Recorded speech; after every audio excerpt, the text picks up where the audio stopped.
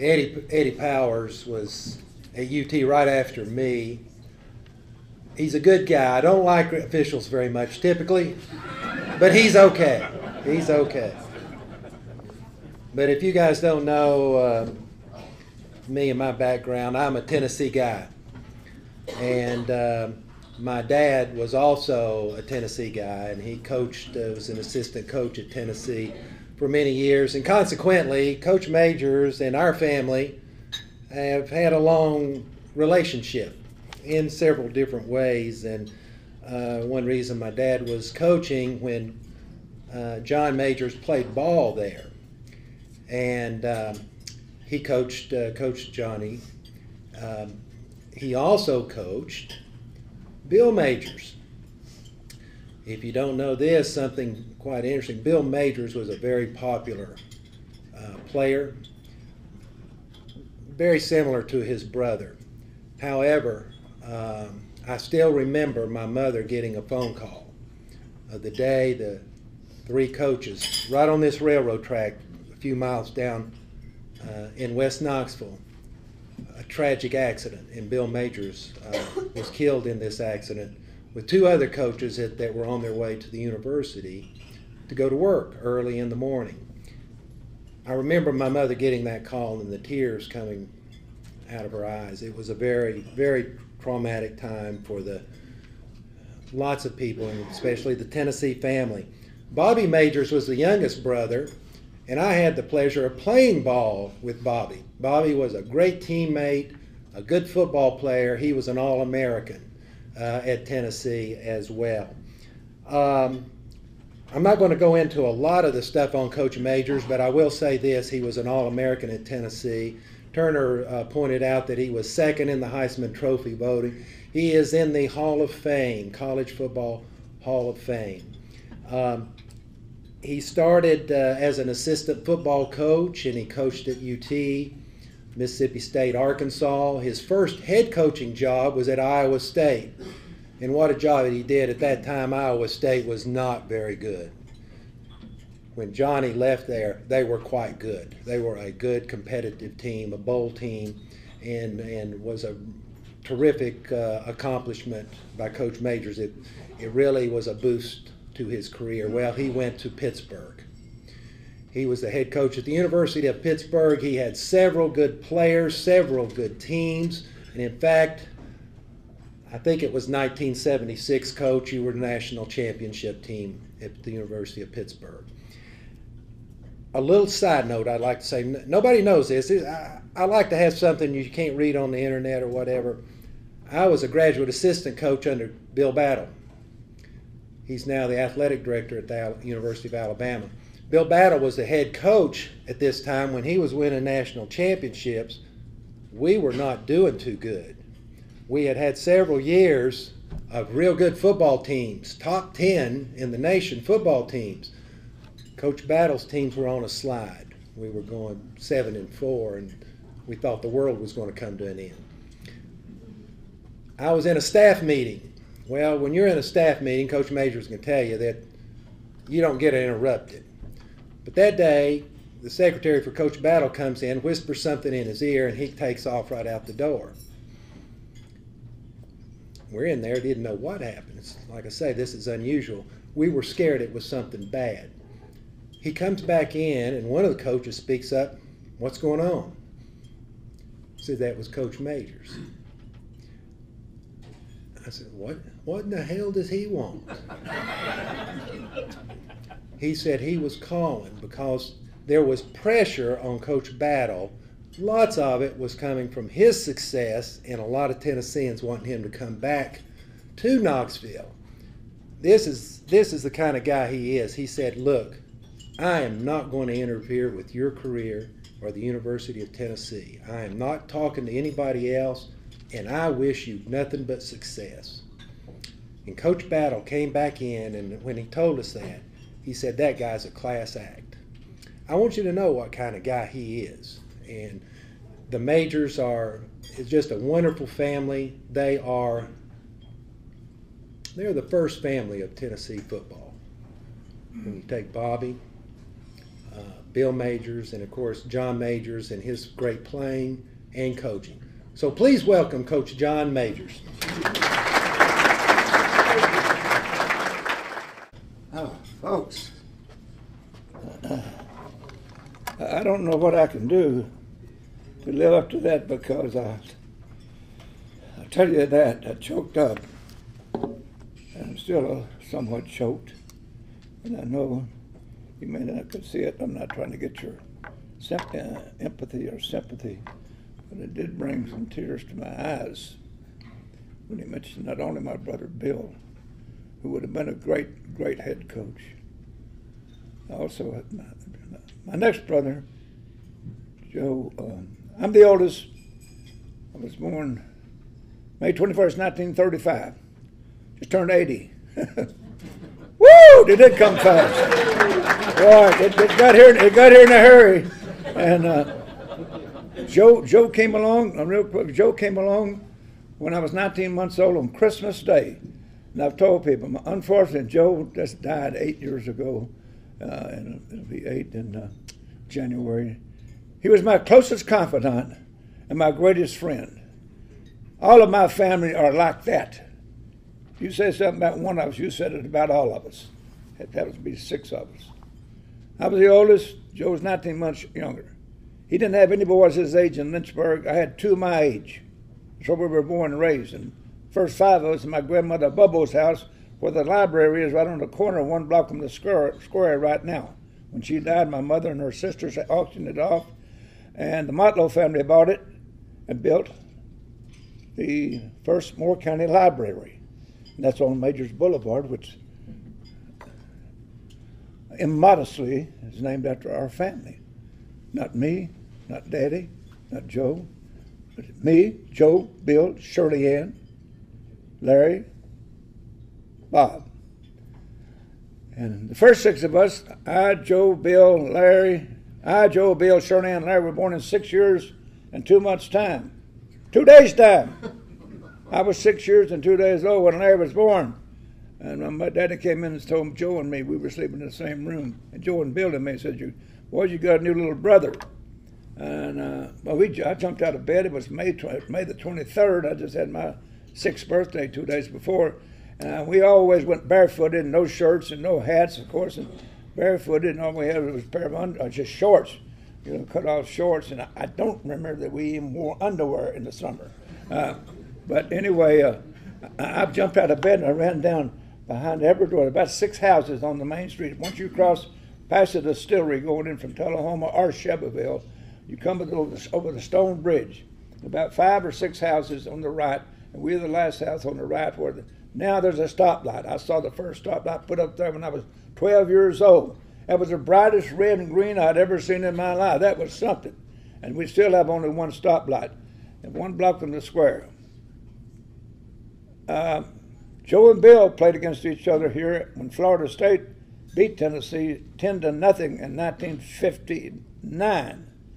Joe went to Alabama as a freshman, and, uh, and he didn't like it there at all because that's when coach Ears Whitworth was the coach, and I'm not being critical of Coach Ears Whitworth, but Whitworth, but he didn't do well.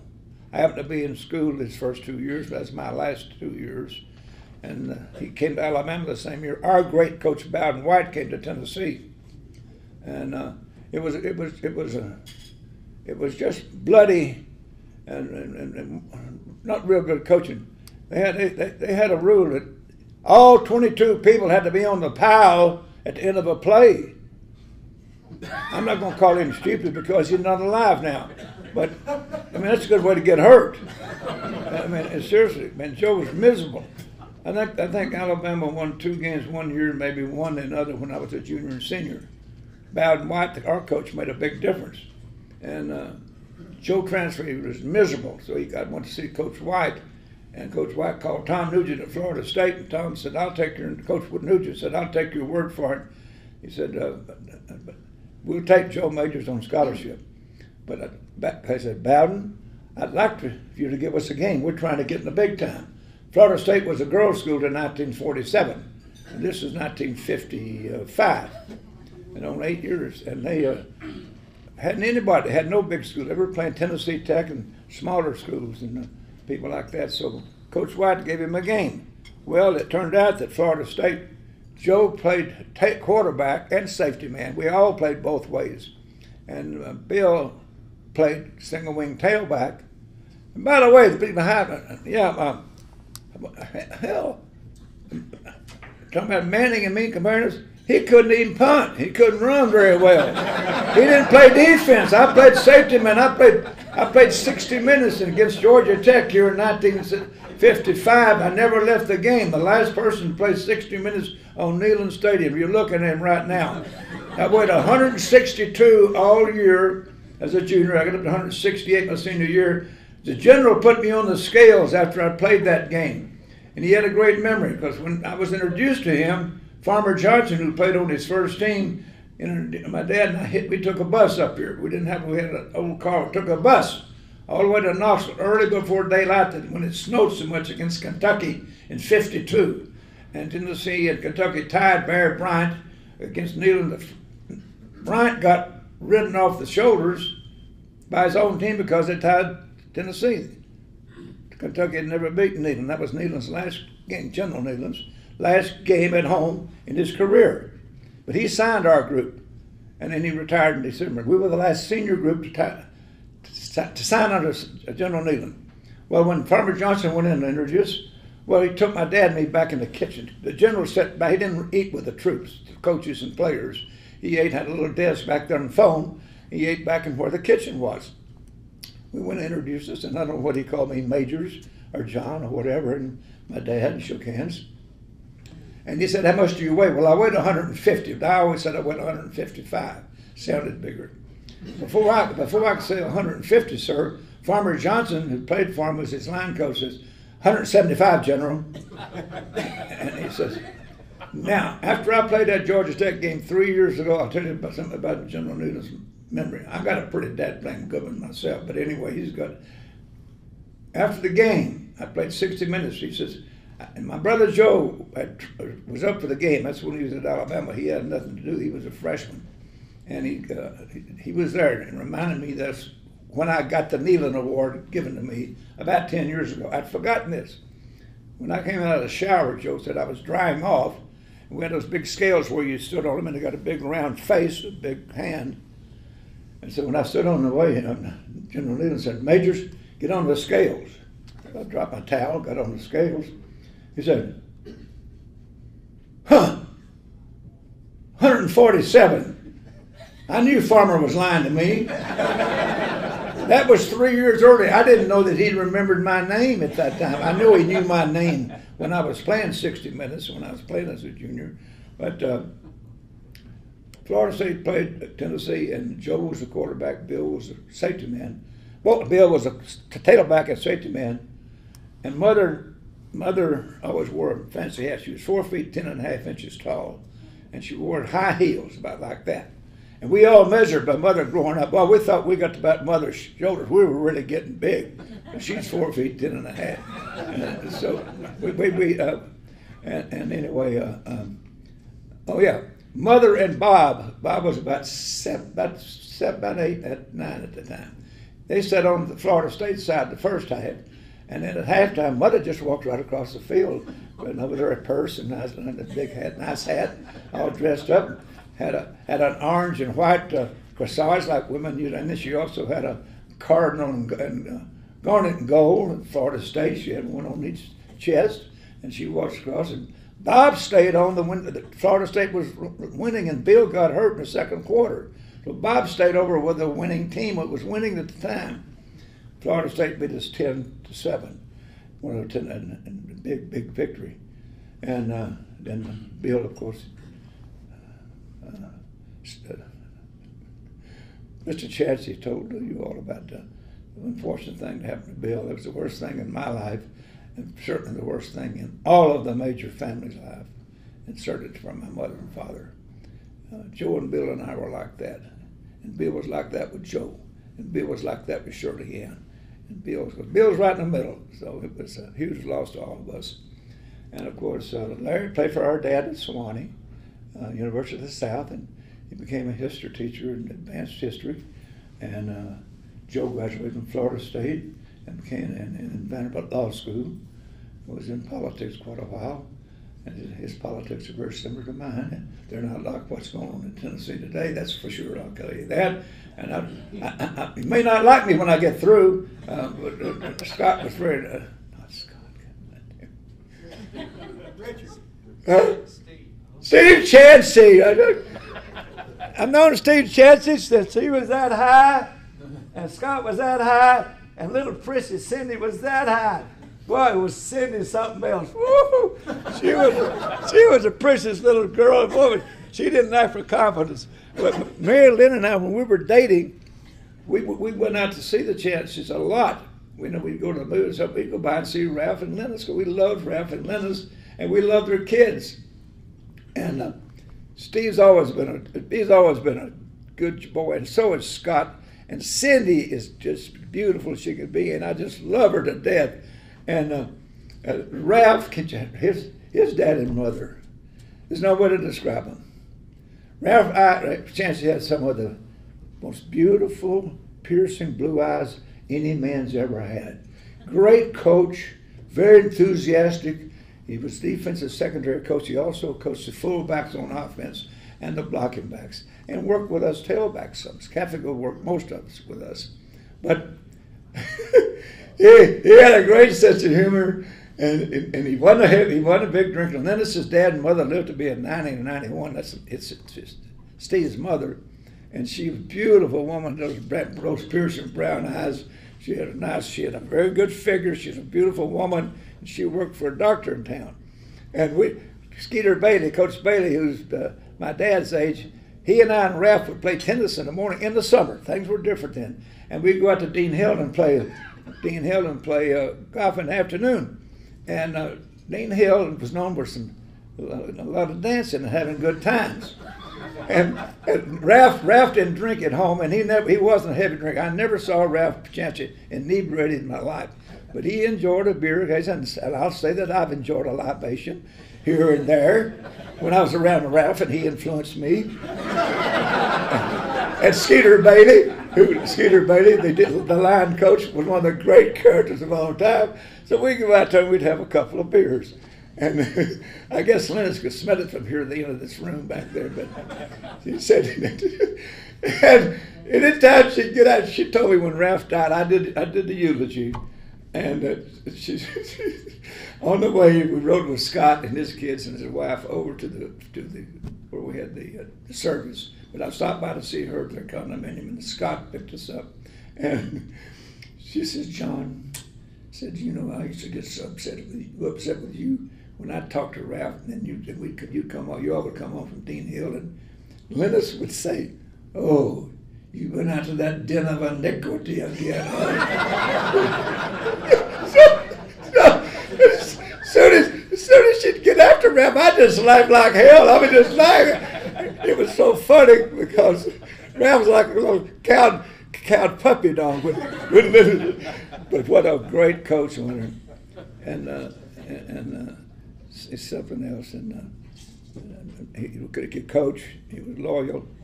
And one thing about it, you didn't want to mess with Mr. Ralph Chance. He was one of the nicest men with a great sense of humor. He loved to tease. He loved to laugh. But if somebody were to hit his buddy, you better watch it. Ralph Chance had a big fist. That that guy hit his buddy would have a, fist in his face. I'd rather have I, I, I, there's nobody I'd rather have behind me, backing me up than Ralph Chancey. And his mother was fabulous. Lennis was just, just we, we spent a lot of time courting. You know, you think we'd be out there, that beautiful wife I had, maybe park somewhere in the dark trying to kiss her, something like that. But we, and we got married, we spent more time with Ralph and Lennis than anybody our age or anybody else. But Steve, thanks so much for those, those comments. And uh, your family was invaluable to me and to, Mary, to Marilyn. You, just nothing, no way to explain it. Uh, I know you'd like to hear about Tennessee football, and I uh, don't have all the answers for sure. Never did, I don't think. A lot of people have told me I didn't have all the answers, so I guess some of them knew what they were talking about. Uh, okay, but anyway, we're going to be better this year we have a better defense. I think you all read all this in the paper.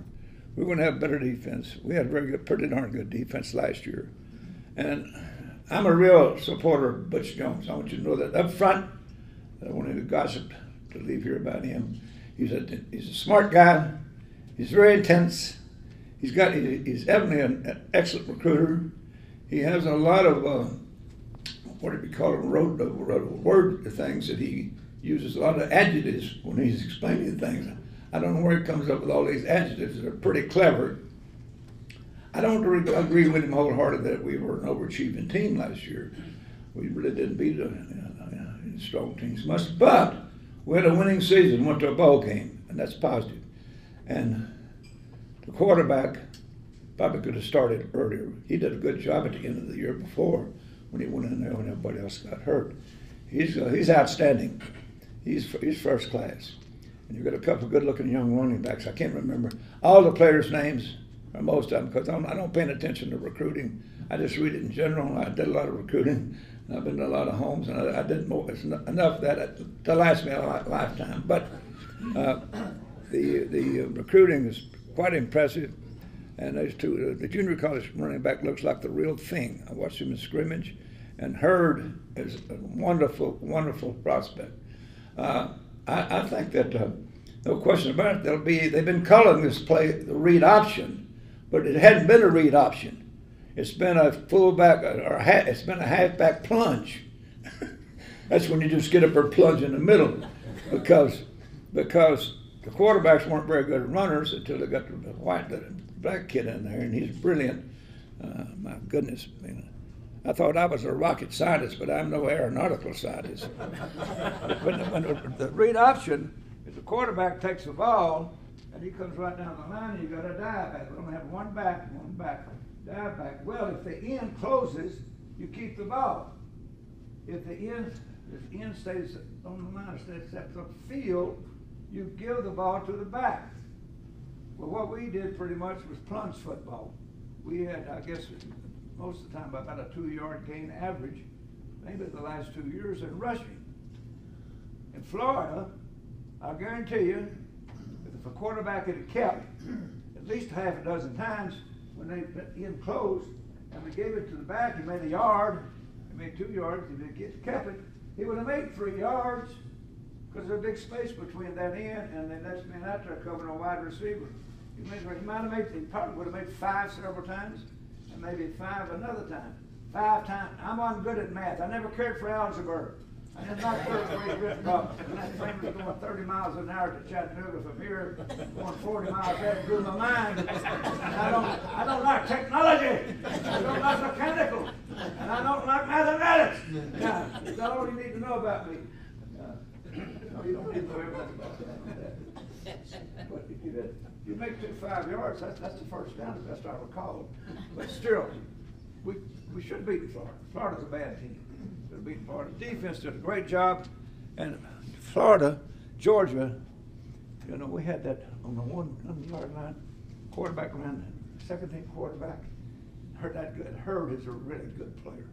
He, he's, he's going to be, he's, he's already good He's going to be exceptional. And he dived, and they, they missed the handoff, the second team quarterback and the freshman back. And they dropped the ball on the one on the inside the end zone. They got it. Georgia got it for a touchdown. He, he was a good fullback. Steve Chance was. You need a lead back on the one yard line. If not, quit kick the damn ball. no coach today knows what a kick, quick kick is. I'm the only football coach probably in America that had a, a quick kick as long as I was head coach. We had third uh, 24 against Alabama down there. Your Johnny Jones went 66 yards in the last three and a half minutes with an option pitch from Cockrell, I believe it was. Uh, Roberts Cockrell, I believe it was. But 60, 63. 83 and, and it's third and 24, not 24. Coach Wyatt told me in the huddle, wait, no, pregame meal, because Neyland's people were very conservative. I'd give anything if he'd have told me to throw the ball more. Had great receivers, Buddy Cruze, Bill Anderson, insurance man in town. Roger Urbano was a wonderful tight end, had good hands, a great blocker. and I could complete it. I broke the all-time passing record at the percentage at sixty-one percent, so Tony Robinson broke it in eighty-five. He had eighty-three percent. And Darrell Dickey broke his, and it's been broken ever since, okay? But I could complete it, and those three guys could catch it. Buddy could go up here with one hand, one here, and gave one of the greatest catches in college football history when he's going across the middle against Vanderbilt, and I'm running to my right, and I jump and throw the ball to him, and I th- threw it behind him, hit Peter Ed, and- never even stopped. Kept going with the ball for about another ten yards. Of course, Buddy won't give me any credit on that catch, I did it to help him make All American. that's what that's what I tell Buddy. But Buddy says, well, Johnny was Johnny was the best option passer that he ever played with. He said you had the option to catch either end of it. Uh, we're going to be better, and, and the offensive line surely would be better. It was young last year, but two, two years before that, we had all that experience, but we still weren't very good. And I hope that we have I hope that we have a good coach there. I'm not here to critic, to critique him today because I don't know him very well. Uh, I watch practice quite a bit, and I'm not, not in a position to do it. But I think the play calling hurt him in the Florida game and in the Georgia game, and I think that's something that could be improved. Um, defensively, we've got some depth. We've got some good defensive backs and some depth there. I don't know much about the kickers. I'm only trying to try to waste your time there now. But that, the quarterback is he's a real talent. He's a real he's a real thing, and got to be lucky sometimes. I think the coach and his team are pretty fortunate this year. The East, in my opinion, will be the weakest it's been maybe since the conference split and expanded in 1992, my last year at Tennessee. I believe it'll be the weakest it's been, and that's another good advantage for us. It won't be a pushover. It never is. There are always surprises, and there are always injuries, uh, and stuff like that. Um, I, I've been through some tough spots as far as coaching, and some wonderful times as coaching. Uh, and uh, people have asked me, "What's your greatest? Uh, what's your greatest game? What's your greatest?" Well, my, no question, my greatest game as a player. My favorite is the Georgia Tech game because we were playing for all the marbles. The year before, when I didn't leave the game, we tied 7 7 here at Neyland Stadium. Georgia Tech won the Southeastern Conference, and they hosted the Southeastern Conference Championship, got the Sugar Bowl bid in those days. They beat the University of Pittsburgh 14 to 7 in the Sugar Bowl. Well, uh, we, and, and, they only lost one starter, an All American guard. I know his name, I can't think right now. We only lost one player on our first team. And I'm not sure any substitute. Charlie Coffey was alternate captain as a guard. So they lost a guard, we lost a guard.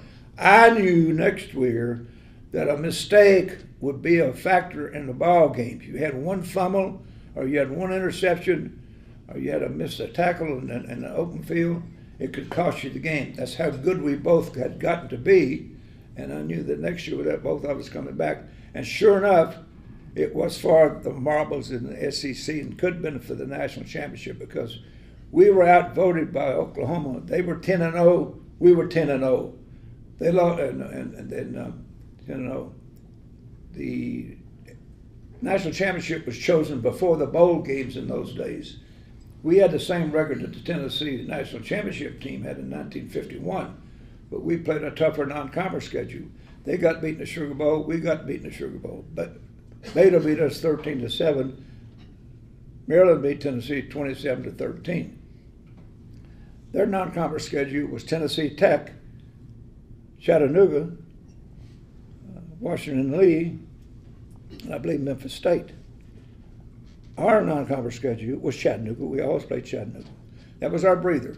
But we played Maryland non-conference, Duke non-conference, and North Carolina non-conference, all in the ACC. So we had a tougher schedule, but neither one of us.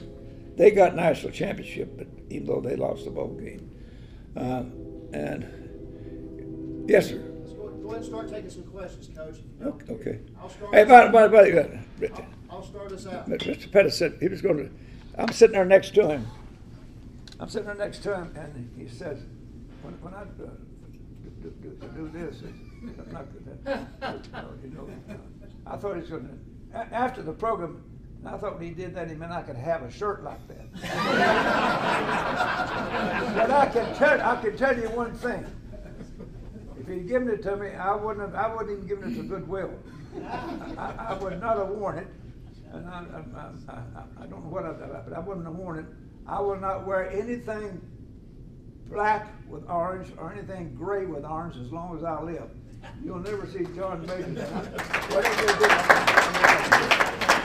I, I had a, had a, had a, I had a president named, I had a pre, just this one, just one, just. I had a president, I had a president, the, the name of Joe Johnson, that his main speaking uh, ability was tell Auburn jokes. It's kind of like Polish jokes.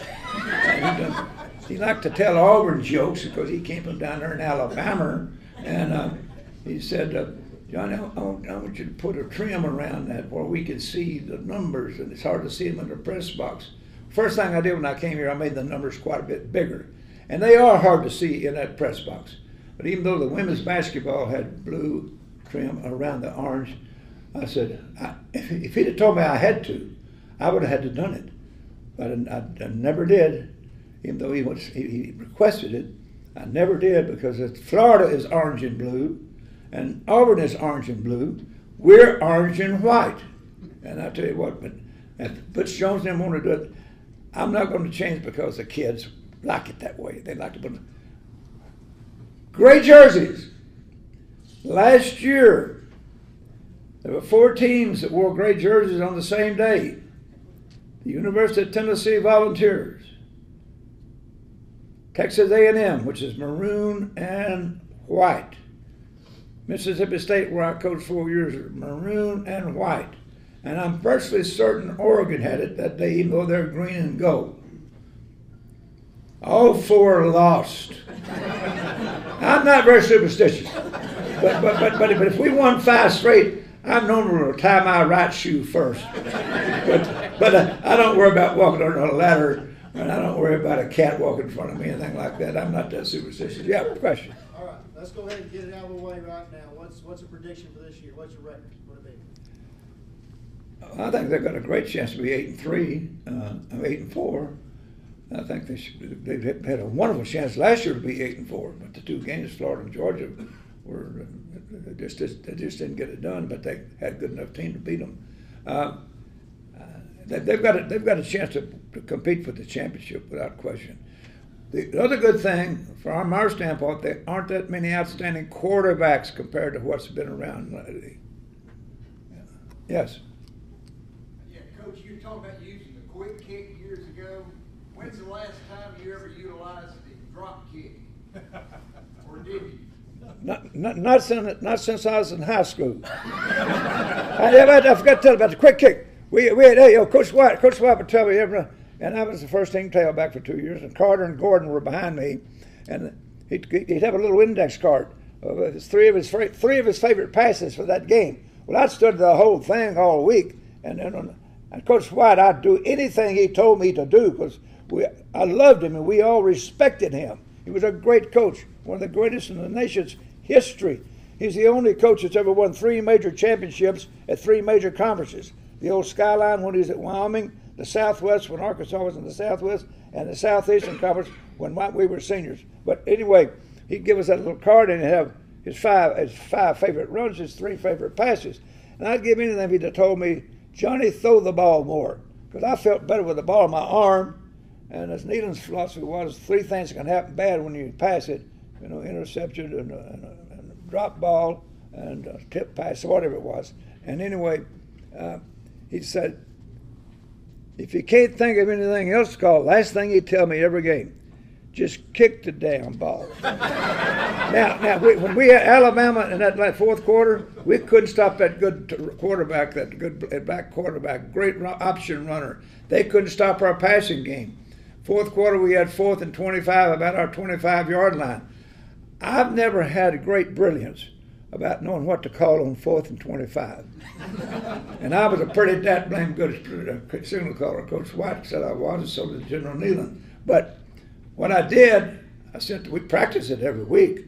I sent the punter in, Jimmy Calkins, who was tall and I sent him in with a tight end and a snapper, and they'd run in real fast. I'd, I'd quick, quick huddle, quick kick, and def- the defense people don't know what to do. They don't see a quick kick. They can't. They don't know what to tell a safety man to do if they see it in the press box on the sideline. They don't know how to handle it. So if we, if we run in there real quick, and, and the, the punter would say, quick kick on the first sound. That meant hut. That meant yep. Just first sound, snap the ball, and we went and we'd run out of the huddle real quick and line up real quick, and the kicker would be line up eight yards and the snap of the ball. He'd drop back a couple of steps and kick it. Well, I said if you don't have the exact alignment, don't twitch because they'll get you for twitching. They might not notice a half a foot difference. Jimmy Calkin, he had knocked that thing about 65 yards. We stopped him for the first time of the game and beat him with Johnny Jones' uh, th- th- 66 yard run. It's a very valuable uh, weapon. Anything else? Yeah. Yeah. Who's, uh, who's your top two or three players you ever coached? Well, without a question, the, the greatest player I ever coached is, uh, for four years was Tony Dorsett. He's, he's now Dorsett, and that's another story I could tell you, but uh, about, about when he changed his name. Uh, but uh, I told him, well, if, he, if he's Dorsetti, if he's Italian and Dorsetti, I can call. I know his number's uh, 33, and I won't forget to call his number in, in, in the huddle. And if he's Polish and he's Dorshetsky, there's a lot of ethnic, eth, ethnism in Pittsburgh. Or if he's a, Dor, Dor, uh, Dorsetti or all that stuff. And I told Phyllis George, who was interviewing me, uh, was Miss Ten- former Miss Texas and former Miss America, she's for no farther from me, sitting at the table looking at me, and she was absolutely stunning, one of the most beautiful women I've ever seen. And she told me, said, we got a scoop. Tony Dorsett said his name is Tony Dorsett. He's not. And I said, well, Phyllis, I'll guarantee you I can call his name. If it's Dorshetsky, Dorsetti, whatever it is, and I won't forget to give him the ball. And I said, by, by, the, by the way, Phyllis, this kind of shows you maybe my, my little uh, small town Lynchburg and Huntland raising, trying to impress somebody. And Phyllis, if it impress you, I'd be glad to call myself Johnny Majors. she didn't. She didn't. She, she, didn't ask me to take her to dinner. She didn't. She didn't. She didn't. She didn't ignore me. She just asked the next question. And, I'm going to miss this real quick. The people ask me, uh, but whatever, whatever success I've had, I know why I had it. I'm not saying how successful I've been. I want you to understand that. I'm not the one to judge that, but we've had some success and we've had some tough times. But we had to take building programs everywhere I went, and I didn't know I'd ever win a game. But I told people when I took the Iowa State job because I'd been coached by my dad in high school. We didn't lose but one game in seven years with me and Joe and Bill and Larry all two years apart playing backfield. We won the first 25 in a row when we moved to Lynchburg my sophomore and junior year, and only lost one game my senior year to Lynchburg of all people. They were undefeated, and we were undefeated except that one time. We were 40. We were 71 and one in seven years, and my dad started that team from scratch and showed them how to put the uniforms on in 1949. He taught us how to punt, pass. You're a natural runner. He was a great athlete. Could play baseball, basketball, football. He also taught us. I never had to change any of my punting style. I had to pick up the speed because college rushers are quicker and they can get to you quicker. They don't rush as hard in high school. But he, told he told us as little boys, John, Joe, Bill, we love to play. We played all day long. You don't have to play to please me, but if you play, I expect you to give it all you got. And he insisted on that, and we he meant no business, but he also had patience if you were working hard, and so did Bowden Wyatt. So I had the good fortune of playing for two of the greatest coaches in history to set my foundation, and then coaching for people like Frank Broyles, one of the greatest coaches of all time. Uh, but I, I had a theme. The theme was we're going to play with pride and enthusiasm when I went to Iowa State. I didn't know they would ever win a game. I said, we're going to play with pride and enthusiasm, and we will never learn to lose. We're going to dress like winners. We're going to act like winners. We're going to practice like winners, and we will eventually learn to win. Another thing, I said, those who stay will be champions. We did become champions, but we didn't take any, no, we didn't take any, any gaff from anybody. We were disciplined. I, got, I was late coming today. I was going to tell you, I never missed a curfew in my life. I was never late for our team bus. I was never late for a meeting. I never left for practice. I'm no, I'm no opera. I mean, I'm no altar boy. Some of my friends will tell you that, but I'll tell you one thing: I didn't want anybody beating me out, and I wasn't going to get run up the stadium steps at five o'clock in the morning from missing classes if they told me I need to go to class. I went to classes my first quarter because Farmer Johnson told me if you get a C average, Coach Majors, talking to my dad and me, he will have a scholarship for four years. My, fir- I doubted I could play college ball, even though I was a, had a great high school career. I led the state in scoring for three straight years, big schools and little schools. But I wasn't that confident for, for the big boys. But I wanted to make a C average more than anything else because I was going to hustle in football. Because I knew if I had a pass, made a C average, I would be eligible to get, keep my scholarship for four years. Coach, we all, Coach, we got a thing for you.